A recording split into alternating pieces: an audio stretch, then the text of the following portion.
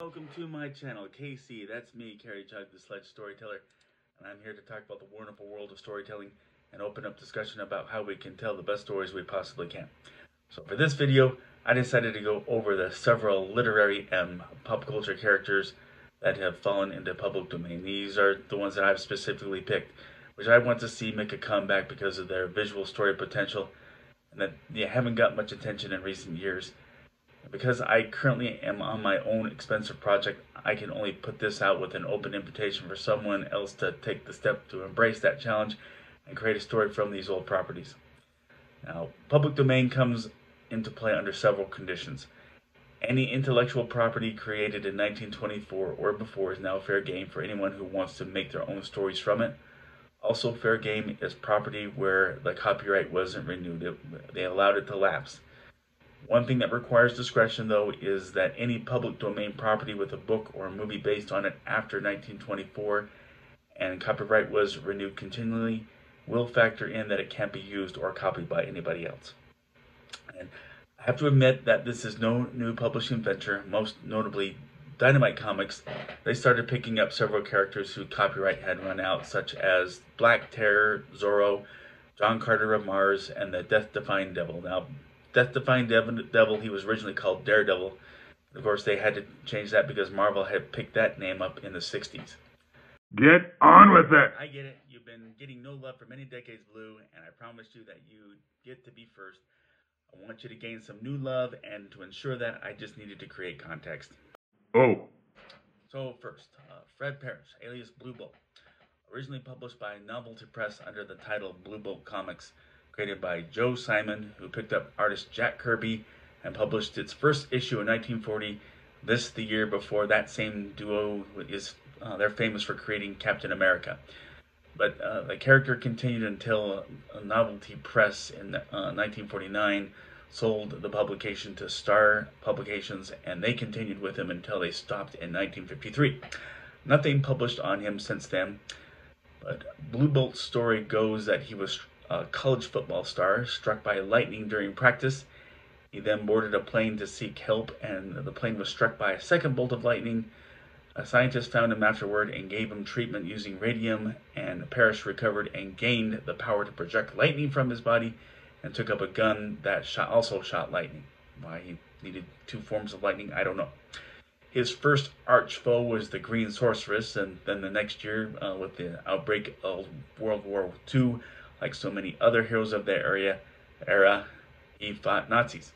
But with such electric powered heroes as Static, Black Lightning, and Shazam, it remains a popular power and largely because writers they're learning more about what can be done with electricity and the, the practical side of using implementing that than what was implemented in the 1940s. And on that scientific front, electricity manipulation also means you can magnetize metal. So plenty of potential there to use magnetism as a weapon. So somebody pick him up. My turn. Yes, Green Mask, it's your turn. So just who wrote Green Mask is uncertain, but the artwork, what we know, was done by Walter Frame. He was published by Fox Publications under the title Mystery Men Comics in 1939, and that title continued until 1942. Green Mask's public identity wasn't revealed until 1940, and up until then, his identity was withheld from the audience. Though a reporter, uh, News Dokes, he was later called News Blake, was the one person who was privy. Once his identity was revealed, it was established that it was Michael Shelby, and he was a wealthy private investigator. His father had been a senator who had been murdered over his aggressive agendas by a, a white hooded gangster, gangster gang part. They were called the Grim Circle. Initially, Shelby had no superpowers. He was just a Batman type on the streets. He became superpowered when he was exposed to an experimental Vita Ray machine that had been created by a fellow good guy named Professor Lascom. The exposure gave him powers of superhuman strength and flight. So far, he sounds like Superman, though. Depending on the plot, he sometimes had invulnerability. He also sometimes used a paralyzer gun. Two years after Michael Shelby's cancellation, Fox Publications reintroduced Green Mask as Johnny Green, the son of a never portrayed Green Mask, Walter Green. Johnny will first remind us of Spider Man because of his public identity of a meek teenager with glasses who gets kicked around by the jocks in high school.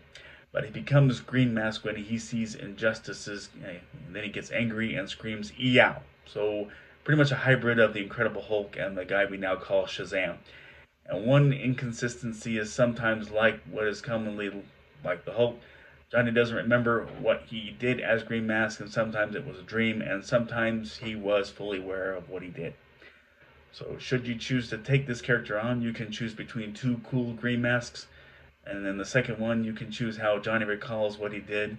But like electric powers, there are several Superman clones out there, so there's room for one more, and another Hulk type, uh, Hulk type specifically, can be a lot of fun as well.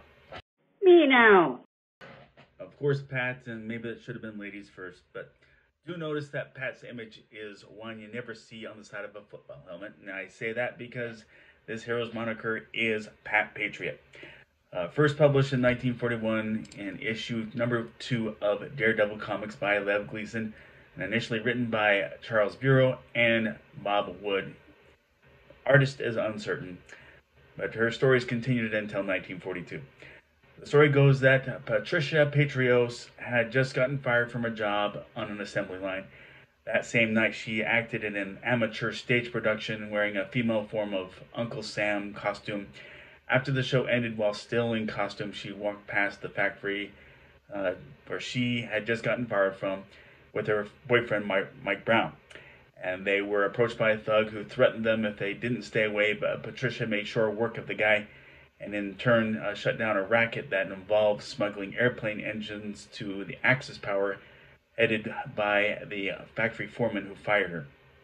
The news of her exploit garbled her name to Pat Patriot, and from there she continued in the war on the home front.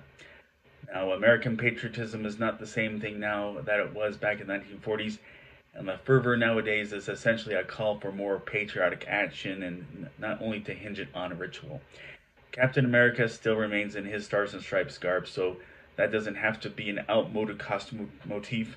But I think an agenda against present day hate crime under the context of that being anti American would be an engaging adaptation, and keeping her blue collar background uh, will help connect with middle America. Lots of potential there. Now, me. Right, Bronze, I had plans to cover you. And update me. I'm with you 100% on that. So, the Bronze Terror is widely regarded as the first Native American superhero. And I know I'm walking on eggs with this in light of current cancel culture, with a lot of emphasis on Native American stereotypes. So much so that I don't even hear NFL analysts refer to the Washington football team and their old mascot name when talking about that team in the past, unlike the Titans as the Oilers in their days prior to that name change. But I didn't approach this without making sure about things by reading up on the matter in social discussion by those inside the demographic to get a good grasp on uh, what expectations Native Americans now have whenever featured in stories. Hence, uh, those readings are linked below the description. And this debut story in the same issue as Pat Patriot uh, in Daredevil Comics number 2, written and drawn by Dick Briefer and uh, ran the same length of time, but uh, full blood Apache uh, Jeff Dixon had just finished his law school and came back to uh, his reservation in Arizona to find out that his father, Chief White Falcon, had been framed for murder. He in turn dons the identity of the Bronze Terror and makes use of his sheer athleticism, high level of combat skills, bow and arrow, and horsemanship to bring the real culprits to justice. Now, the Bronze Terror images I show, uh, they won't work in uh, in a story for today because it has stereotype written all over it. And contemporary Native Americans mostly dress like mainstream America, and so a basic tactical costume may be in order. And because the Apaches still have their own culture, educating yourself on that is an absolute must, with a focus on how it relates to other cultures today. So, one point of parallel reference I think is helpful is the CW TV show Black Lightning. It has a wonderful balance of interethnic relations and uh, carries a great depiction of African Americans dealing with opposition both inside and outside their demographic. But you know, a creator with Apache roots may be the most appropriate one to bring this forth. but I would love to see this story told with the right cultural balance.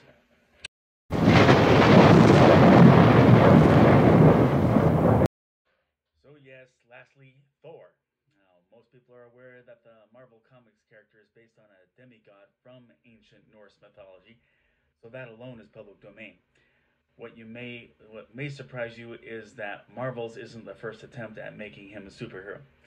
The first was by MLJ Publications with their three-issue title, Top Notch Comics, created by Otto and Jack Binder in 1939. Here, Thor is picked up by time travelers who also pick up an Egyptian princess named Elda, and they all take action as time traveling warriors.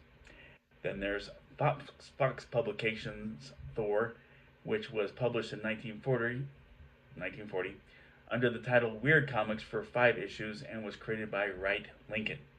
Here, the Viking god Thor endows his power onto mortal Grant Farrell, and he in turn flies, throws lightning bolts, creates storms, and wields the trademark hammer. Now, surprisingly, in 2011, obviously capitalizing on Marvel's Thor getting released that same year, production companies Dudez Production and Tomcat Films made a movie with the Fox uh, Grant Farrell Thor, at least with that name. The movie is titled Thunderstorm: The Return of Thor, and you just watch the trailer on YouTube and you'd have no idea this was supposed to be Thor since he wears high-tech armor, so maybe Iron Thor. But finally, Charlton Comics published Out of This World number 11 and create and uh, this Thor was created by future Spider-Man co-creator Steve Ditko in 1959, only three years before Marvel came up with their Thor. But uh, this version of Thor was a, a, sickly man of ancient Scandinavia when uh, and when he entered a glowing cave that bathed him in magic rays that gave him superhuman strength. And there was also a uh, a hammer-shaped rock there with all those familiar Mjolnir powers. Now, in the case of all three of those versions of Thor, uh, their copyright ran out, so you could uh, tell a story using either of them. But the story I want to see told is uh, to once again go back to Thor's Norse mythology roots, go back to ancient Scandinavia, have him uh, front and center among the Norse demigods under Odin, and tell the story about the war against the enemy giants with uh, the inhabitants of the earth in danger, or a new spin on Ragnarok besides the aforementioned movie with uh, the Grant Farrell Thor, there was another 2011 movie produced by the Asylum Productions. It's called Almighty Thor, and it aired on the Sci-Fi Channel. And anyone familiar with the Asylum production uh, knows to expect it to be schlocky. And you know they made Sharknado, and and haven't uh, seen that same Almighty Thor movie. Yes, expect that. It does start out in ancient Scandinavia, but goes the same plot route as the 1987 Masters of the Universe movie with Dolph Lundgren as He-Man, He-Man, being going into present day. So I dare say that even the Asylum uh, would even admit that it doesn't count. But those are the public domain characters I have. Uh, I see potential in being revived to, uh, into stories for today. What about me? You don't qualify and I always leave a link to your order page below the video description. If you like this video, please click like. If you like this channel, please click subscribe or follow me on Instagram. News of the pandemic has become depressing as of late, but at least there's news that the vaccine is on the horizon. In the meantime, everyone be safe and God bless.